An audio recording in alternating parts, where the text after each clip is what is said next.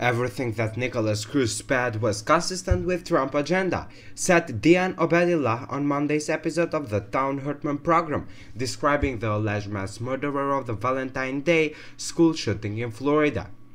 Over the last 20 years, we've had more people killed by right-wingers than any other group, said Hartmann, receiving agreement for Obeidallah.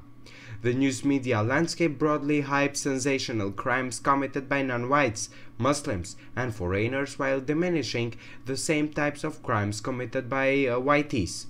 The media is surrounded by ratings and what sells, said Obeidallah.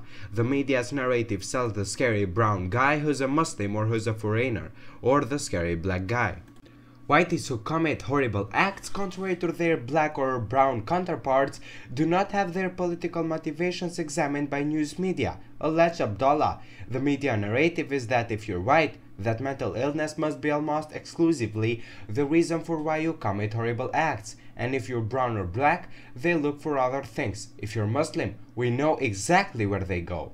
Half of active hate groups in America are white supremacists, said Obeidallah, during assertions made on Southern Policy Law Center, an organization ostensibly committed to tracking hate groups.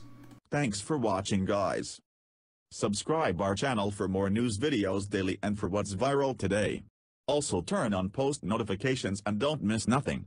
A thumbs up really makes me blessed.